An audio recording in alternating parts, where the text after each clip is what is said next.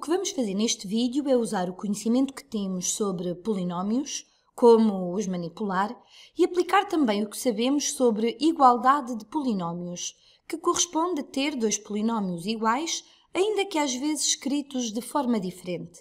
Dizemos que estamos perante uma igualdade de polinómios quando isso é verdade para todos os valores da variável.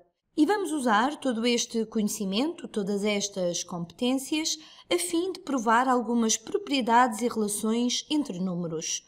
Então vou começar por escrever aqui alguns números inteiros: 0, 1, 2, 3, 4, 5.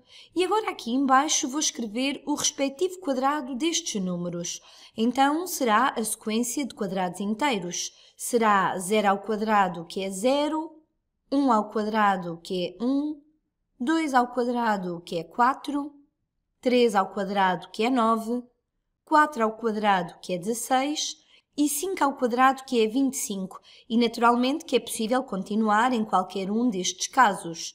A primeira coisa que quero que pensem, antes mesmo de escreverem um polinómio que relacione estes números, gostaria que olhassem para esta sequência de quadrados inteiros e verifiquem se encontram algum padrão no que respeita à diferença entre os sucessivos termos da sequência de quadrados.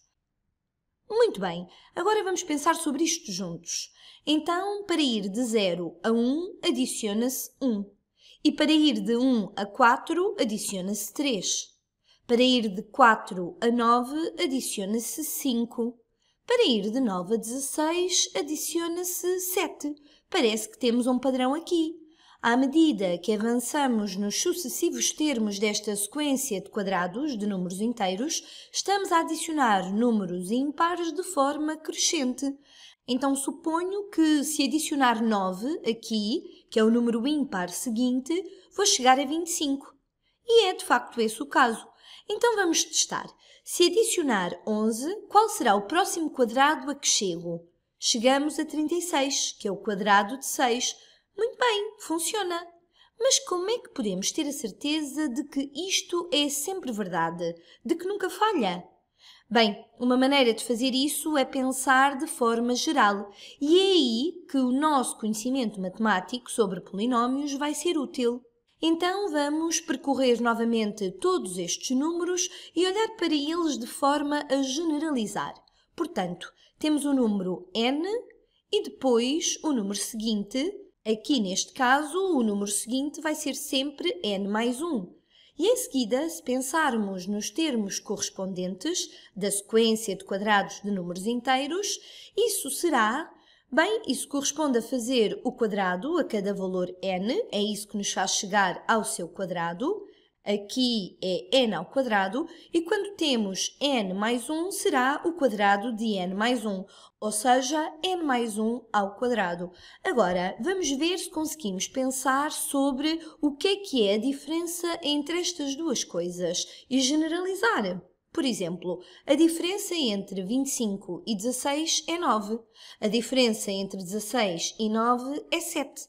Então, generalizando, agora vamos pensar sobre o que é a diferença entre n mais 1 ao quadrado e n ao quadrado.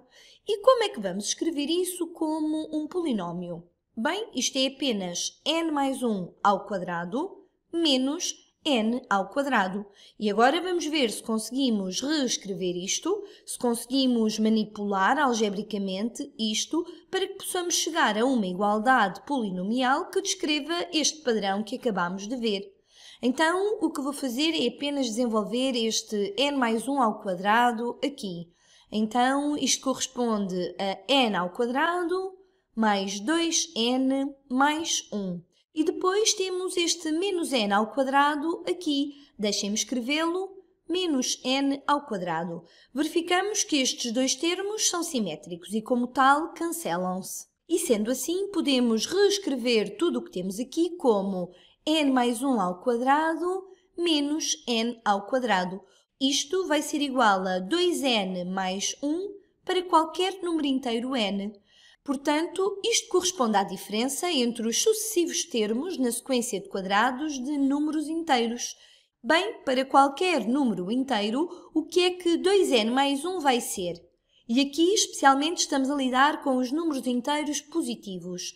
Bem, para qualquer número inteiro n, isto vai ser um número inteiro ímpar, porque seja qual for o número inteiro que escolhamos, ao multiplicar por 2, esta parte da expressão vai ser par.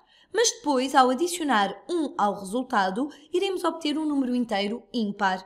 E também se pode ver que isto aumenta sempre duas unidades à medida que n aumenta, ou seja, adicionamos 2 ao ir de um número inteiro ímpar para o número inteiro ímpar seguinte, que é exatamente o que está descrito aqui. Portanto, isto assim é bastante claro. Acabamos de utilizar um pouco de álgebra, um pouco do que sabemos sobre as igualdades polinomiais para mostrar que a diferença entre os termos sucessivos desta sequência de quadrados de números inteiros aqui vai ser uma sequência crescente de números ímpares.